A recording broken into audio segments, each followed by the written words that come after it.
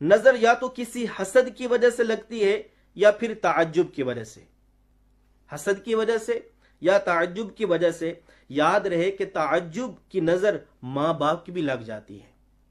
यानी वालदेन भी अगर बच्चों को दुआ न दें तो बच्चे उनकी नज़र के भी शिकार हो जाते हैं। मैंने एक वाकया कहीं पढ़ा था कि किसी का बच्चा वालदा किसी का जो बच्चा है, वो वालदा का बहुत दूध पीता था। एक दिन उसके बाप ने कहा कि ये तो हर वक्त अपनी माँ की गोद में चढ़ा रहता है। छोड़ता ही नहीं है। इस लम्हे वो बच्चा साकित हो गया और हस, उसको अस्पताल ले गए लेकिन बच्चा कुछ देर के बाद फोत हो गया। अब उसकी बच्चे की माँ का इलाज करते हुए तीन माह हो चुके हैं लेकिन वो ठीक नहीं हो रही। तो जिन